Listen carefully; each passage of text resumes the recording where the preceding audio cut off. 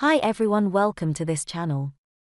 Her significant other Judy are presently in the clinic on physician's instructions there. Sibling is pregnant is expected in a bit. Over a month, but doctors fear that. Because of her age and where the baby is located, she may give birth any day, so in order to keep the baby in as long as possible, doctors have admitted Da Brat into an Atlanta hospital and place her on bed rest typically. Pregnancy care provider recommends bed rest. It means they are concerned about a health condition that could cause pregnancy complications or premature labor. Healthcare providers sometimes prescribe bed rest during pregnancy to increase the chances of your pregnancy being carried to term.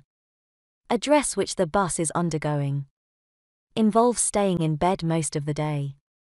In some cases, you may use a bedpan to pee and not leave your bed, but Da Brat isn't just staying in bed. Yesterday, she and Judy posted a video where Bratz was dancing around the hospital room and dancing. Like, share, and subscribe. Thanks for watching.